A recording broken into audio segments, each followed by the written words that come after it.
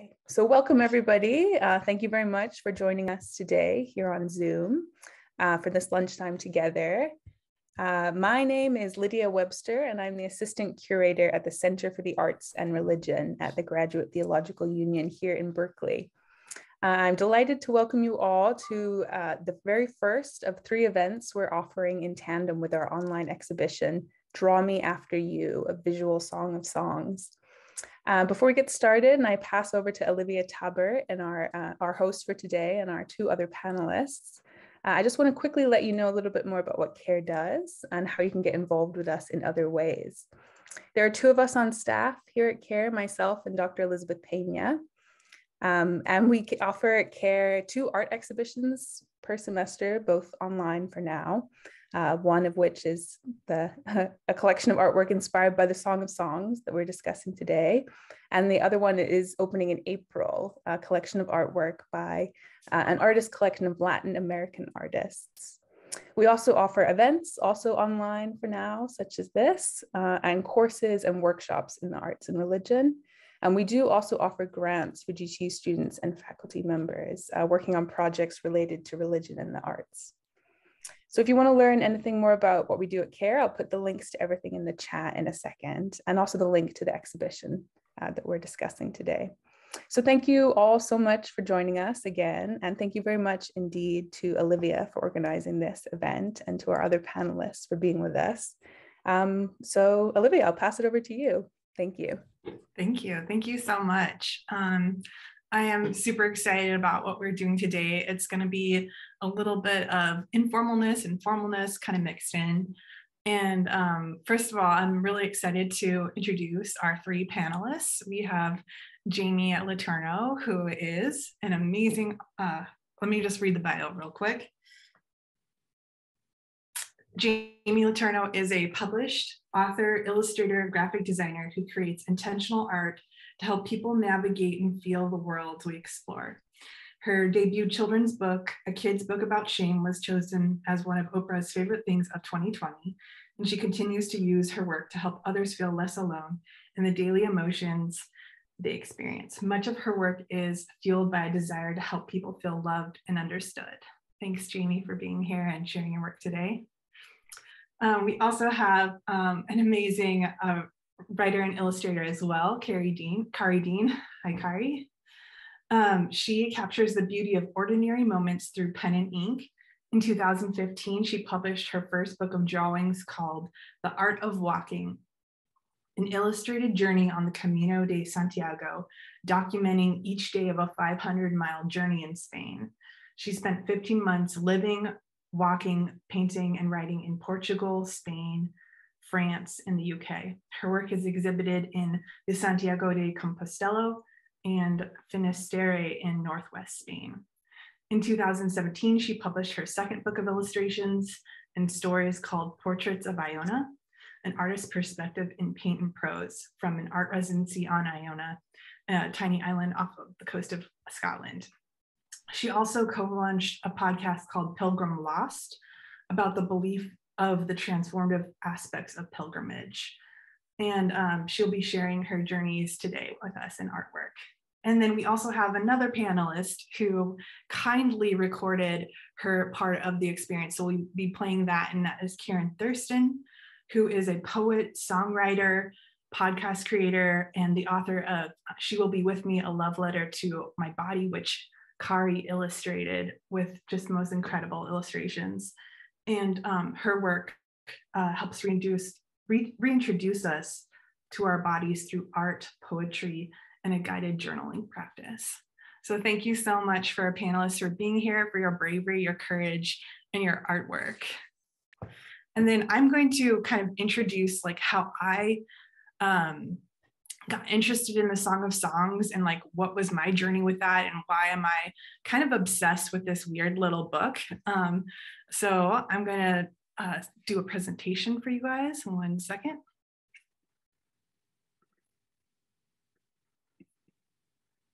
And here we go.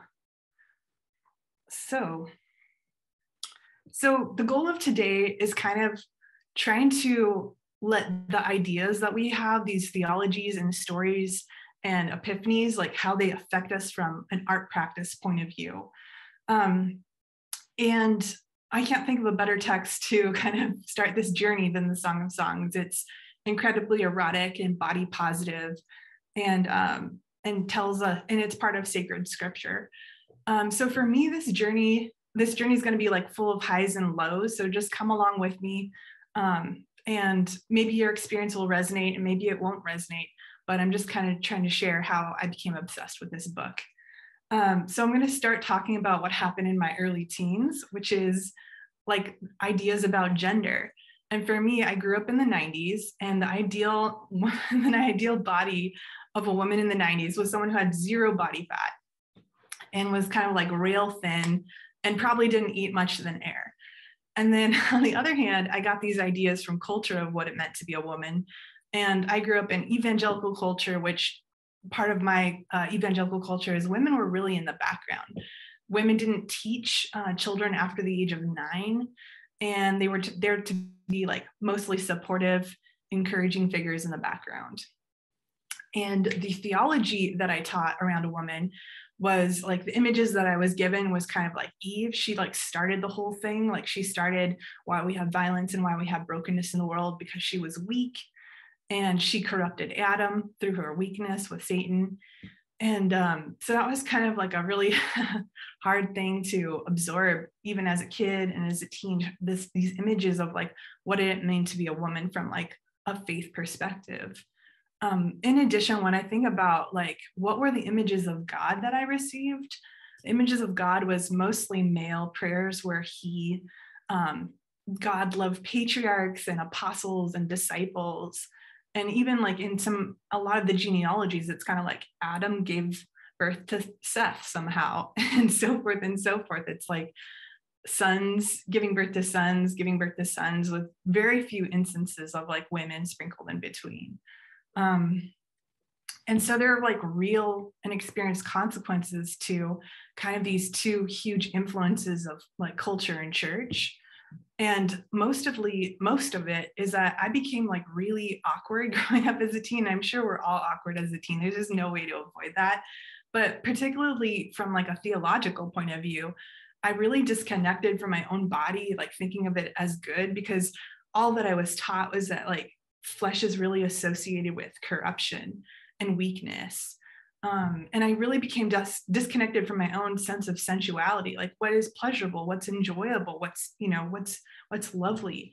And I think it really also damaged like my image of myself because I was given like this, I really believed in all the things that I was taught, and so it just really hurt like who I thought I was.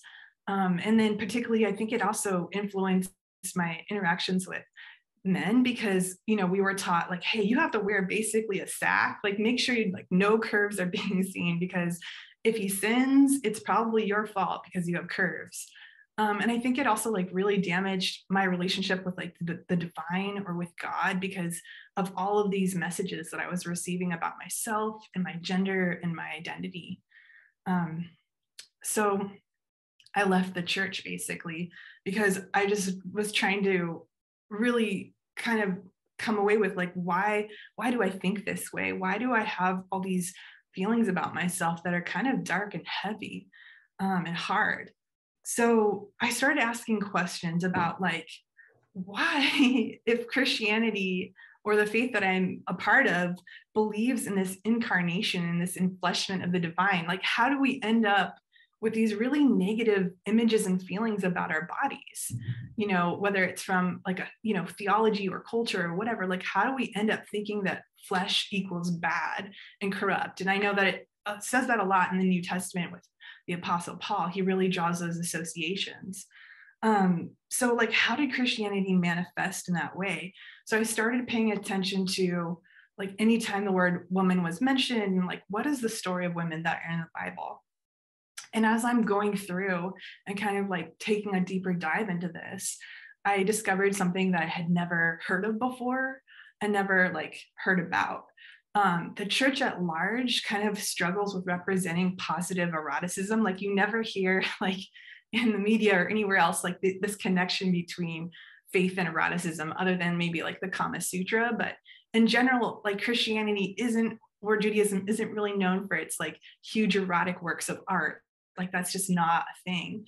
And so um, I, I discover as I'm going through scripture, lo and behold, there's this book that's full of like powerful sexuality. Um, this is a translation from the New Revised Standard uh, version of the Catholic edition, and it says, you know, chapter one, verse five, I'm black and I'm beautiful. And there's this kind of like powerful reclaiming of the body throughout this book that's really, really strong. And I was shocked to find it because, you know, sometimes Song of Songs is called the Song of Solomon. But when you read it, it's actually the woman's voice who initiates this whole set of like love conversations. Um, she and, and I was just like, it was so like mind blowing to find this really body positive, sex positive, erotic book that like just really valued flesh and valued like the breasts and the butt and like every part of the body is like set on like a pedestal and glorified and adored. Um, so, anyways, just here's a few little selections like he shall lie all night between my breasts, his fruit is sweet to my mouth. Um, your your navel is like a round goblet, which is always wet.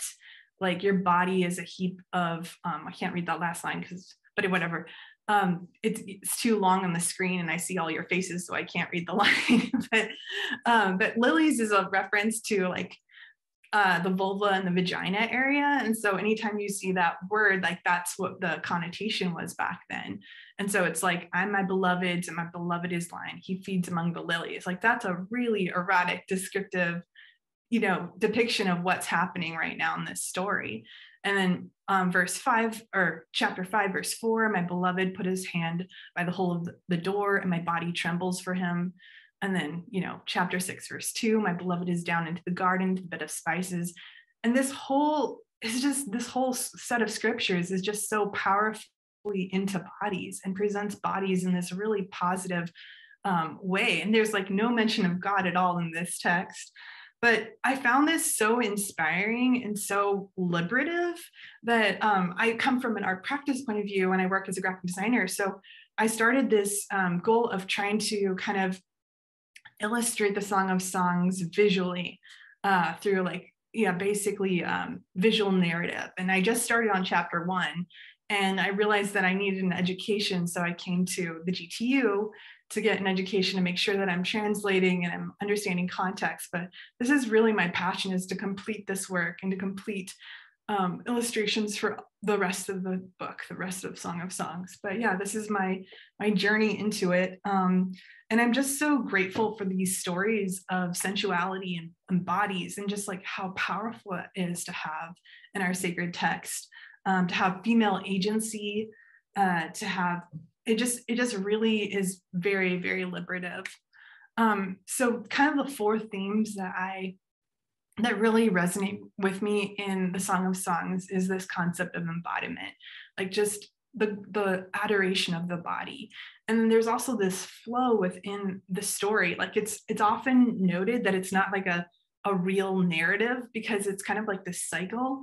Like the mm-hmm. lovers just kind of like talk to each other and then they talk to each other again they talk to each other again. But it's not like a a one-to-one story that has like a beginning middle and end. It's kind of like a cycle. So i just love this concept of dynamic movement in the story.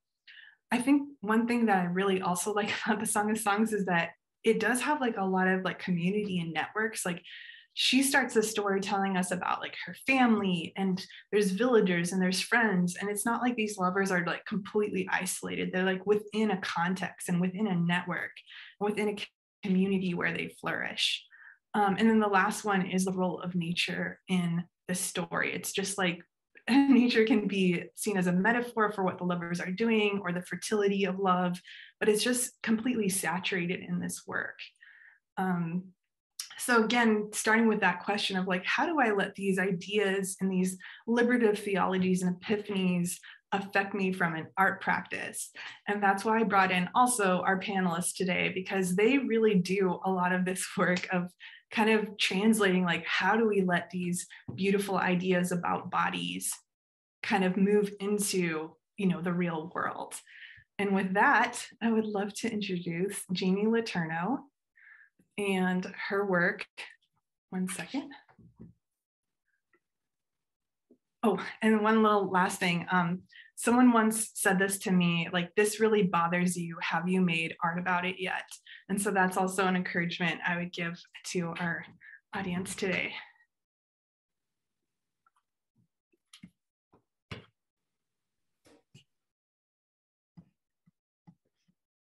Hello, everyone. I feel like that question was a really great transition to the artwork that I have to talk about today. Um, and a lot of what you were saying, Olivia, I think would have been extremely helpful for me being raised in the ways that I was raised and what's influenced my artwork. And a lot of what I would like to talk to you about today is around an art exhibit that I was a part of a few years ago now, almost four years ago. What is time? But I was commissioned to be a part of an art exhibit called The Invisible Organ. And it was part of a larger campaign called the Calla campaign, which was created by Duke University's Global Women's Health and Technologies Department. And their team actually created a tool called the Callascope that's used to help detect and prevent cervical cancer. And it's a fairly small tool and inexpensive to make because a lot of what they were um, inspired by to create such a tool was the lack of access to healthcare and just a better system to be able to detect cervical cancer and because of expenses, but also that access and being in rural areas and countries that have less access to it and a myriad of other reasons. Um, and then also a big point that they wanted women involved in creating a tool like that because they understood the pain that women have to go through in everyday exams that they have to go and be a part of to help keep their um, keep watch on their health.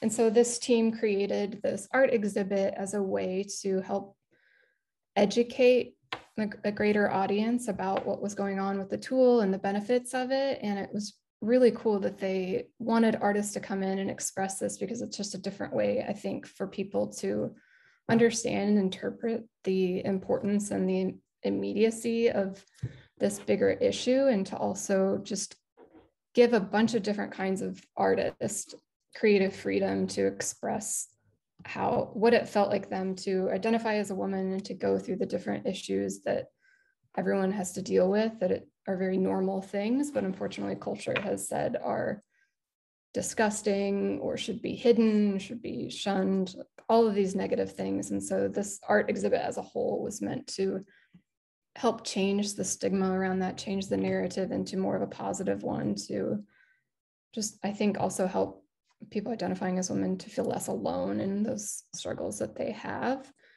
So, because of that freedom, we could make our art any medium, and it could be about anything we've dealt with around our health, our sexuality, our bodies, just from simple to complex. And I chose to do a trio of female reproductive systems. I just often just call them uteruses for various reasons, but I took three different areas of my life and examined those and what and kind of like drew back to how I was feeling when I was a child in like stages of naivety and then through kind of more like teenager years and then into college and into my 20s and late 20s and early 30s and now I'm 35 so I'll show these artworks. Let me share my screen here so you can have more context of what I'm sharing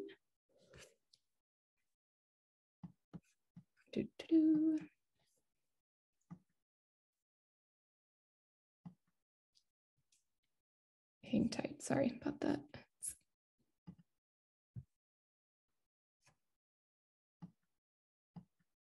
Mm -mm -mm.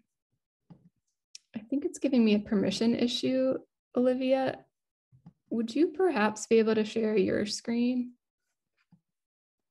Yes, one second. We, uh, oh, sorry. If you can go to my, yeah. it's just on my website. I'm going to drop it in the chat. Perfect. As well, and everyone else can look along or look later.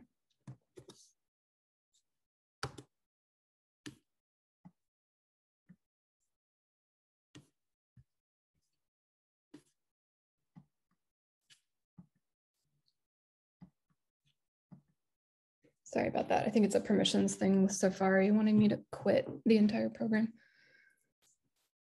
Okay, so these are some detail shots of the artwork and I used to focus on black ink alone and I found a lot of like cathartic feelings from drawing in this way because I actually drew back to textures that were in those different periods in my life and tried to find inspiration from that for the textures I was using in the artwork and in the line work. And I also put together music playlists to draw inspiration from that because music is a direct correlation to remind me of how I was feeling during that time period. So like this one, actually, if you want to go back, thank you. This one is the first era from childhood when I was little. And so I, this one probably can't fully tell, but it's it's more of kind of a soft, fluffy texture to represent that of my innocence and how naive I was. And I came from a family that everybody kind of shoved things under the rug. So nobody actually talked to me about anything to deal with sex or my body, but there was a lot of shame going on and a lack of confidence. And so I, I actually had like a lot of like negative kind of feelings around my body and my own self confidence. But this one, because of the fluffiness, I actually even found an old photo of a baby blanket that I had when I was a kid. So I was really trying to draw into things that I was surrounded by and brought me comfort in those times. And like I said, with the music, that's what influence you can move ahead if you want to the next one, um, next photo. This one was the second era, more of like my teenage years when I got involved in youth group at church and had a lot of confusing education around again my body and how modest I was supposed to be for the, for the men around me to not make them stumble. And so I was just constantly kind of inundated with this education that I was wrong and that I should be ashamed of things I was doing and didn't understand a lot of that that was being like filtered in. And I struggled with that but didn't talk to anyone about it. So there was just a lot of shame kind of raveling up. So you can see like in the line work and a lot of these becomes like more and more intense and detailed and layers. And this one has even more going on in terms of like switching from different textures and shapes that are influenced by periods in my life from environments that I was in. And um, I grew up in the Midwest. Some of the textures are from farms I spent time on of friends and partners and um, this one was also heavily influenced by the music I was listening to, which was a lot of angsty music.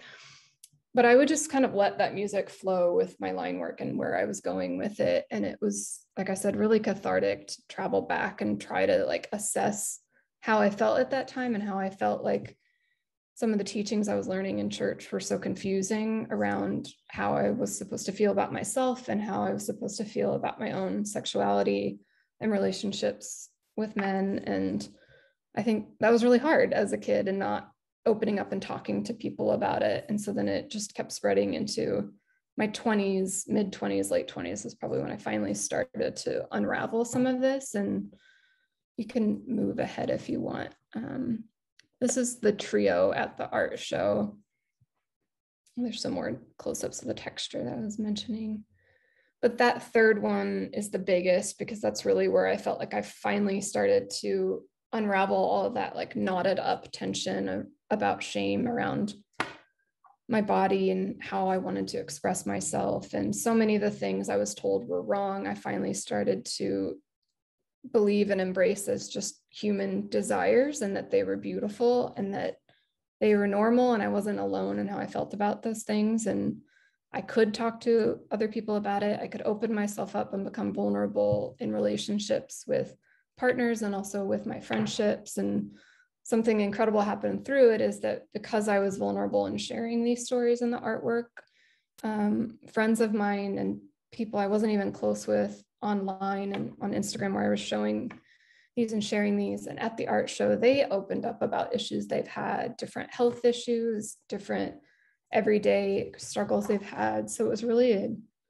incredible process to go through this to see like the more vulnerable I was, the more it gave an invitation for other people to open up. And I really appreciated that it offered that because I think that I grew up in a culture and an environment in the Midwest that was so like constrictive of how we were actually feeling. And I think a lot of people have gone through that and we're having sort of this awakening now as adults that we're trying to unravel this to help us um, improve ourselves and our emotional intelligence, not just for ourselves, but in the relationships that we're in.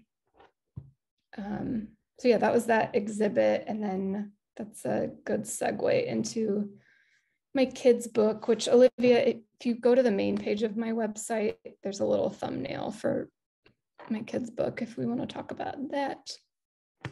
So about a almost a year later, not quite after the exhibit, I was approached to write a kids book about a topic that was that I was passionate about and that I wished there had been a kids book about when I was a kid. And immediately, like I had a list of ideas I wanted to do, but shame was the one that popped up immediately because of everything I just explained in those uterus illustrations I was talking about. And I knew that this would be difficult, but I knew that this was something so important, not just for kids, but for adults that didn't have this kind of resource when they were little. And I wanted to help encourage people of all ages to be able to talk about those like icky feelings that they're not, they're very, they're very confusing, but to be able to like unwind those and find examples of it and just again not feel that they were alone in what they were feeling or feel like they were weird or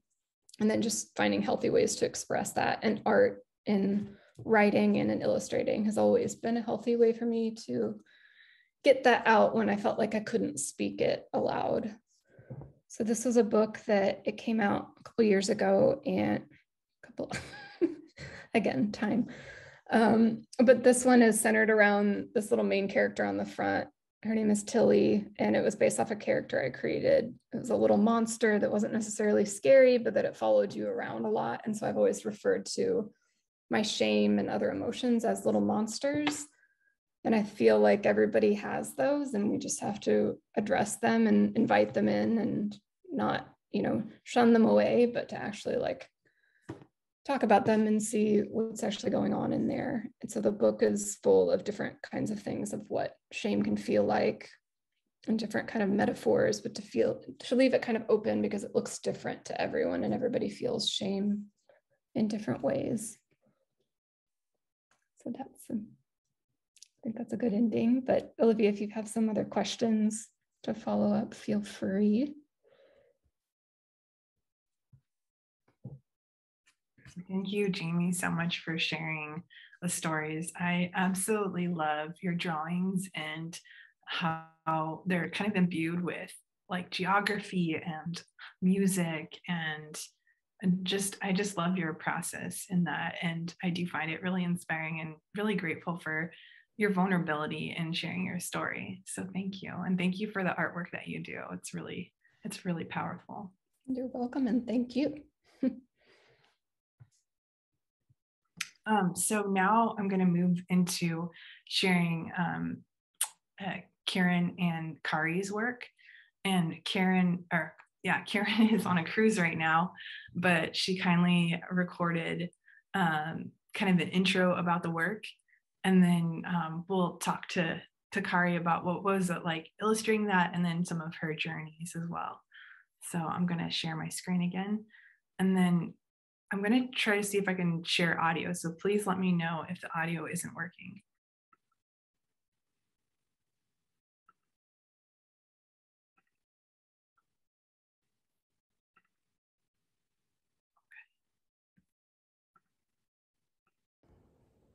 My name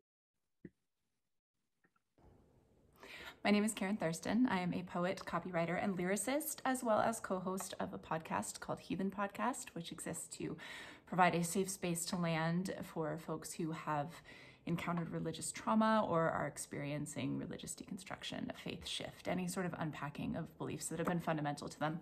I'm also the author and co creator of the She Will Be With Me, a love letter to my body journal. Um, thanks, Olivia, for inviting me to come and talk on this topic with my cat friend behind me. um, like Olivia, and I would imagine, like many of you, I grew up with conflicting messages about how I should feel about my body. Uh, I had on one side media, TV, uh, school, just culture in general telling me over and over again that my 5'11 and a half body should be smaller, uh, thinner, take up less space in general.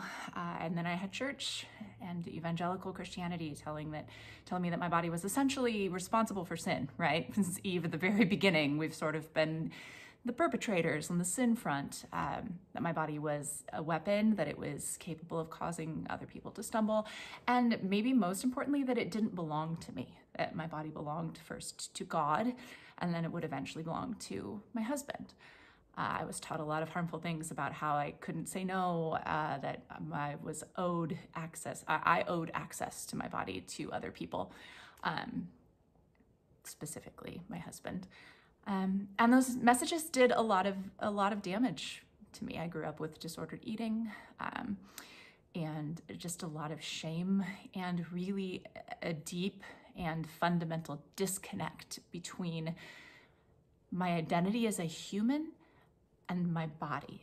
I was two separate beings, a soul and a body, and the link between them almost didn't exist to the point that it was easy for me to ignore feelings and physical symptoms taking place in my body. It's easy for me to go weeks and weeks on end with pain without really acknowledging that I'm in pain at all. Um, and it was really hard for me to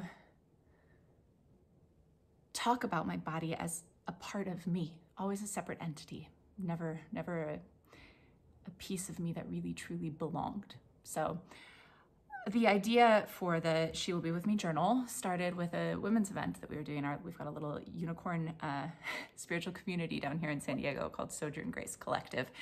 Um, and we had an event for women, and uh, our pastor Kate asked me to write a meditation about embodiment. And I wound up writing a poem that was a love letter to my body.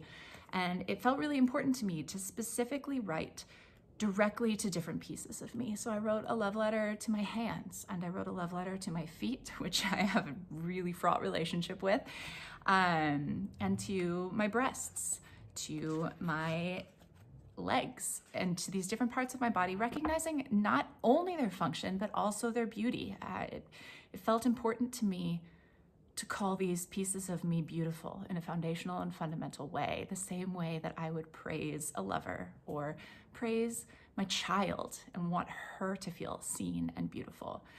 Um, I wrote the meditation. We did it together as a group, and a lot of people asked it, asked me for the copy and wanted to kind of go through this process themselves and have it on their own to meditate uh, and sit with and work through. So the idea to create a guided journal was born from that. I knew uh, that my co-creator Kari was the only person I wanted to do this with because her art was just the art that needed to be in there for me. Uh, so we took the piece and we turned it into this guided journaling practice. And in this journal, uh, there's the art. It's going to be backwards because I'm using my camera funny, but there's the art and the poem that go with each piece to kind of inspire folks uh, to get the wheels turning and get people thinking about, you know, what could I write here? Um, and then there are prompts and blank space for people to draw, to write. This prompt says, of the places you've taken me, these are my favorites. And so it's to help you write, uh, get started writing some notes to your feet of all the places we've gone together. These are my favorite places. We wanted to create accessibility around this very weird practice of writing to your body because it does feel weird. It's an awkward thing to do. But for me as a writer, there wasn't an easier or clearer way to jump in and get started healing this divide. For me, I've always mothered myself by writing. I've always written into the thing that is hardest for me. So the only way I could think to take steps toward reconciliation with my own body was to write to her. So I started doing that. And um, it has been an awkward, silly, beautiful, journey. What I love most about having this journal out in the world is the feedback that we've gotten from other women who have experienced identical, honestly, identical stories to mine. This feeling of disconnection that manifests in all sorts of different ways. The practical details are different between us, but for all of us, that common thread is just this feeling of shame, of being our own worst critic, of looking in the mirror and immediately gravitating toward our flaws and pointing those out and thinking negative things about ourselves uh, and failing to miss all of the positive, beautiful aspects of us that our loved ones and our family notice every day. Um, there's a rawness to that wound. There's an ache in it. Um, and, you know, part of me thinks that it was put there on purpose because I think that if women, especially, and if humans in general can get to a place where we are functioning as whole individuals, where we are in unity with our body, where we're not carrying the weight of extraordinary shame with us everywhere we go, I think that's really powerful. I think it frees up a lot of space that we dedicate to worrying about how we look and what we're going to wear and what we're going to do and, you know, hiding and keeping ourselves small. It frees up a lot of time to work on other projects, bigger things when my body and I, when my body and me, when my body and I, when my body and I are working in tandem, I'm a lot more productive. I'm a lot less preoccupied. I'm a lot more present and I'm a lot more myself. So this practice for me has been a healing one, an ongoing one, because I have gotten nowhere close to mastering this magic. And I don't know that I ever will. I think this is daily work because I think every day we wake up to new imagery, to new posts on our Facebook or Instagram or TikTok or whatever feeds, to new advertising everywhere we go that tells us that we're insufficient, that we're not enough, that asks us to pay to become whatever society's current definition of beautiful is. Every day we are met with an onslaught of division. Um, and I think it's daily work. And it's daily work because culturally we haven't gotten there yet. I always say we can't talk about this body reunification. Um, goal, we can't talk about having this goal of reuniting with our bodies without talking about the fact that fat phobia and discrimination against fatness is still rampant in society and culturally acceptable everywhere that we go. Um, and until we're awake to that and noticing it, this idea of unifying with our bodies is disproportionately much more difficult for some than it is for others. There's no equity there. So the work for me is twofold it's the internal daily work of having these practices, these affirmations, this active work to train my mind to fight back against the messaging that I'm being given, and also the external work of trying to create more equity for all bodies so that the ableism, racism, fat phobia, and all of the other isms that absolutely affect this on a daily basis can be diminished, and so that we can start to actually all have sort of an equal shot at doing this work. So, I invite anybody and everybody who has shared this experience to do the awkward, silly, silly, silly task of starting to write or draw or any way that you can think of to treat your body like a partner, like a lover, like someone that you would date. The same sort of effort you would put into a new relationship or to maintaining a relationship with your romantic partner. Romance your body a little bit. Tell her she's special and lovely and put in the effort, put in the effort to romance her and to make her feel good. And it's gonna feel weird. but the worst thing that will happen is you will have wasted a little time and felt a little embarrassed in a place that no one else could see. And the best thing that can happen is that you start to actually believe some of the things that you say.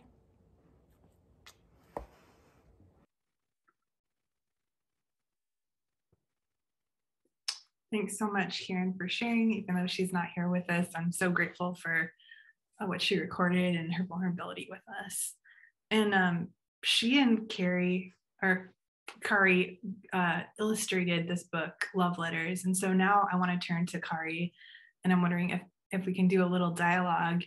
And um, thanks again for being here. Yeah, absolutely. It's nice to be here.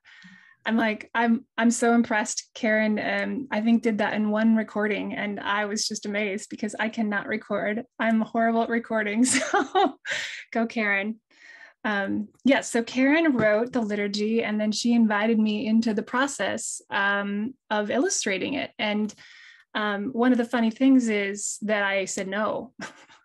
I told her no. I, I I felt like it was the subject matter that was so precious, and I didn't think I could do it justice.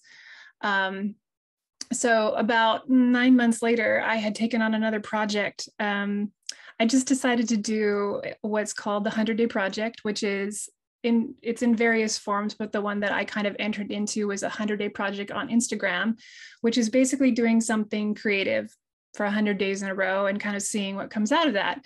And so um, I decided to, I had another friend, I have another friend who's an amazing writer, and she would write, just write something, a little something, and then I would have to illustrate it. And we did this for 100 days in a row. And she wrote a lot about people and i ended up doing doing a lot of illustrations of hands and feet so after this 100 days of doing all this drawing i i was like you know what i i think i can do this i think i can take this on so i I uh, texted her back and said, "Have you found anyone else to do this illustration work for for the journal?" And she said, "No, I've just been waiting for you." so um, so that's how it worked. So she handed over the completed manuscript to me, and then I set about doing these illustrations. Um, so I I you know Olivia and I talked a little bit about about what I would talk about and this idea of sort of what was it like for me particularly to to kind of enter into this work. And i am going to be really honest with you. When I first started out the illustration, um, we have we had three women, Karen, and then two other of her really good friends. I mean, clearly, when you're doing a book about bodies, you can't encompass all the bodies, right? There's so many wonderful shapes, sizes, forms. We just decided that we would use friends, Karen and her friends would, would be our models so that would be this more opportunity to enter into something vulnerably, right? We're just showing ourselves rather than trying to encompass all the bodies. So, um, so they would send me, so I sent them some ideas of some poses and some silhouettes I wanted. And they um, they sent me all of these wonderful, beautiful photos back that I used for my reference photos. So I thought that this was great. We're going along. This is just a wonderful project. And um, it was so easy for me, I think, like many of us, to not to my for myself, but to look outside and saying, oh my gosh, these women are so beautiful. Look at how amazing they are. They're they're they're just wonderful. Um, I think this project is so great. Yes, we need to reconnect with our bodies. So that all went along. I thought I was doing great until I realized that Karen had not written a specific um, note to to butt and hips. and I, I saw this as like a gaping hole. And I said, because this has been my my issue my whole life. So it in the sense of something that I personally have not liked about myself. So I'm six foot three and those words that Karen sort of spoke about in the like the idea of always supposed to be a little smaller. Well i i was six foot three about at about 14 so if you can imagine walking through life being not just a you know a teenager feeling awkward but being head and shoulders above everyone else. Everyone looks at you when you walk in the room. And i had these messages as well coming because i was quite thin that that people would come up to me and say, well, wow, you know, like, wow, wow, you're so tall. And then they would follow it up with like, but it's okay because you're thin. Like I cannot tell you the amount of people that I had telling me that, that it was okay, I was tall as long as I was this kind of tall.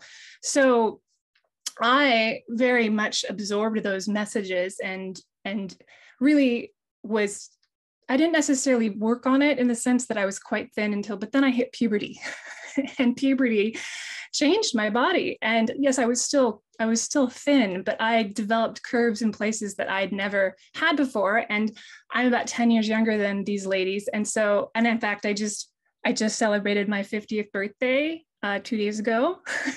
so I grew up in the 80s and, um, and that was, you know, we were, we were moving towards the Kate Moss era and so, but it was still, there was not a lot, a lot of curves. Curves did not really exist in that era. And so as I started developing these curves, I started to freak out because I was so tall, but I wasn't, I wasn't that model thin anymore. And so I started to have all of these different like critiques of my body. And from that point on, and you know, I mean, when I was skinny, I was, I had nothing. So I was too thin. And now it was just, there was never a point where I was just kind of could just be at peace. Right.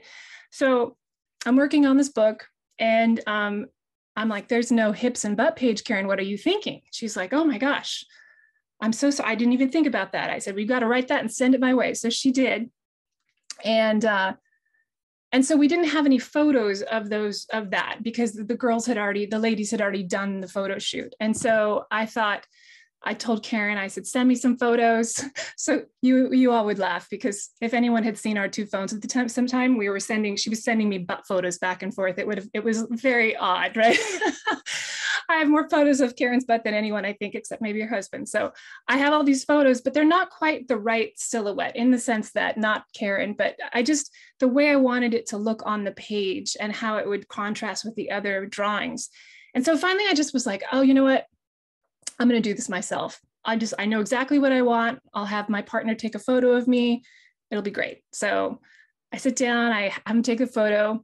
I'm in the bedroom hands me my hands the phone. I said, "Give me the phone. Let me see what it looks like."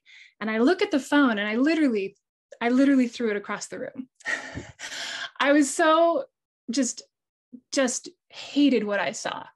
And you know, there's not many. We don't. We see ourselves and we look at ourselves in the mirror, but to see a close up of your butt, like you just like I, I've in that moment, I realized I had done none of the work. I was happily drawing.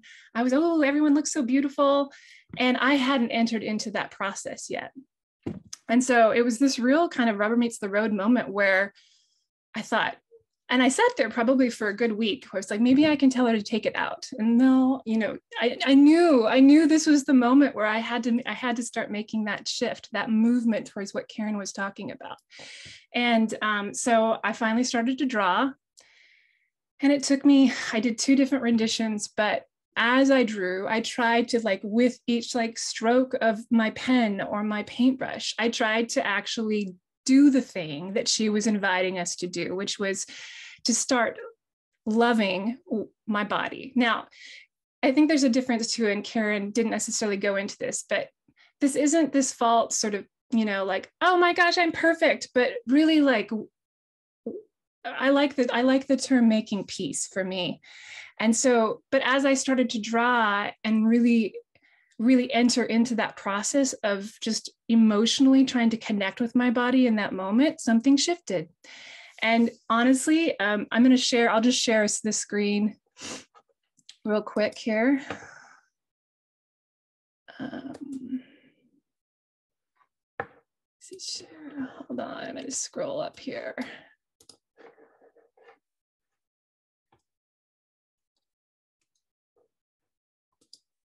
Can you all see that?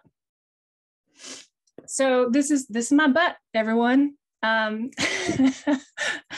I've not actually done this with a group of people before, so I could still have my butt be anonymous anonymous in the book. But so, and I tried to actually engage in all the pieces of me, not just the shape, but the cellulite and the dimples and all the things I'm experiencing as I'm very much smack dab in the middle of middle age. Um, so I'm gonna, I, I, you can kind of see the work that I do is pen and ink and watercolor, but it really, um, I loved, I loved using watercolor in this particular way because it gave me this, this softness as well as the, the pen. There's this kind of juxtaposition of my pen work with the watercolor, and I've always really liked that combination. Um, but I chose to, I chose to in the in the book, I'm actually going to stop sharing now. Um, in the book, which I have right here, um, I'm going to show you, you can kind of just see on the cover. Um, the I decided to only use a few colors. So I used my black and white um, pen, and then I used one tube of watercolor for for um, any of the any of the kind of shades of brown in the book. And this is a good, this is a good picture. So, so this is hands, the love letter to my hands. And so I only used one one particular shade of watercolor, but I really because I really wanted this kind of this idea that underneath it all, we're all the same, right? We're radically also the same. And so this idea that we I could use this one tube of watercolor and by adding adding the water and changing it i could reflect so many different tones of skin color and then of course i did add a little bit of pink down here for karen but um, i really made this book kind of i wanted it to be a little bit more um, kind of all of these just I didn't I didn't want to have a lot of different colored representation here. So I was really pleased with how this turned out. Um, but all of that to say that in that process, I'm so glad that I didn't, that I had to end up using myself as a model because it actually forced me to enter into this process. Um, and all the things that all of these ladies have shared, like I've experienced all of them. I did, I grew up evangelical as well. Um, and so these things I loved, I think Jamie, you said unraveling, like an unraveling, like a, like, um, I mean, as I said, I just turned 50 and I feel like it's been in these last honestly these last five years where I've been doing the unraveling so much later. I'm so glad when someone says I'm doing the unraveling and I'm 22 or or they don't have to start to unravel. Wouldn't that be amazing if if they didn't have to unravel or deconstruct some big thing that was that was this idea of feeling like we're broken. So um, starting to do the work now, this book project really helped me kind of enter into that and um, and i'm really pleased and proud of the work because it's one of the first projects that I've done where I feel like literally any woman could pick this up and and really get something from it and um and so yeah um, I will share with y'all um, the link um, that you can go check the book out um, and also share my my artwork site. You'll see a lot of, I have a lot of, I do mostly journal work right now. So I travel and do, well, travel. I traveled in the past um, and did a lot of journal work from my travels. And so, um, and I know Olivia really wanted me to comment a little bit on the, the Camino de Santiago. Do we still have enough time? We good? Yeah, let's um let's do it two minutes and then at least have five minutes in case anybody has questions or wants to. Okay, cool. Yeah, so um I walked the Camino de Santiago right after um, I had a really hard divorce. Um, that not that any divorce is easy, but mine um, occurred in 2013, and my sister and I decided to walk the Camino de Santiago um, right after that period of time. And so um, it was a 500 mile trek. Is you know some of you may know about it, some of you may not. 500 miles across Spain, and you walk, you daily walk at uh, average average mileage a day is about 15 miles a day. And I started an art practice on that walk as well, where I was, for the very first time, I started to kind of journal my, um, journal what I was seeing every day. And one of the things that's really beautiful about pilgrimage is it's really, I think the main thing I, that Olivia and I have chatted a little bit about is this, this idea of really being, being in your body is the primary thing you're doing. you are walking. And that's that's it. That's the only responsibility that you have. You, you have to get from point a to point b and you're eating along the way which is always fun right? Who doesn't love eating? So you basically get to let go of all these other responsibilities and your life is simplified to this one simple task. And what's crazy about the task is being in your body for eight hours in that day because you are literally in your body you know we we work and we we're not in our bodies right we're in our computers and our minds and our stories and all these things but because you're walking and you're feeling your feet and you're feeling your knees and um, you you really get a chance to live in a space i mean for me it was revolutionary it changed my life um, for a variety of reasons. One is this art practice I started because I started to draw every day. But the other thing is just the idea of um, really simplifying your life. Um, I came back from that from that pilgrimage, and I I ended up leaving and traveling for another year and a half because it was just left my corporate job, kind of radically changed my life. Came back from that extended period of travel, and I live. I'm sitting right here in my tiny house. I built a tiny house because I decided that I wanted to simplify things. It really kicked off from that pilgrimage, but the idea that if there's anything that you can do from like a simple walk in your neighborhood is this idea of just being in your body. And I think sometimes we think of being in our body as being like, I'm an athlete or I'm a dancer or something more, but really being in your body is just noticing and being with your body. And so, one of the things um, I have this really beautiful little book by um, rest in peace. I always say Thich Nhat Hanh. Am I saying that correctly? I don't know if I'm saying, but the it's um, a meditation on how to walk. And one of the things that he said is just this idea of when you're walking, all you have to do if you want to meditate while you walk is to say, I have arrived with each step. I have arrived. And what that arrival is, is just being present. Because the pilgrimage, one of the biggest things my art practice, any of those things did was that it really brought me to a space of being fully present in the moment. And I think that's what embodiment does is being present in the moment with with yourself with your body with what's in front of you. And so um, so now even though you know it's the pandemic or hopefully the end of the pandemic um, i do walking meditation and that has been really um, something very meaningful for me and it's something anyone can do in any place at any time. And um, and it's simple. So um, i'm going to share those links with you. I'll share my site and then also share the the um, the link to if you want to check out the books. So um, thank you olivia is there anything else that, that gives you i think that was about maybe three that minutes? so fabulous. Thank you Kari so much for that. Really appreciate it. It's really good. Awesome. Yeah do we have any questions from the participants about work or just any thoughts or reflections?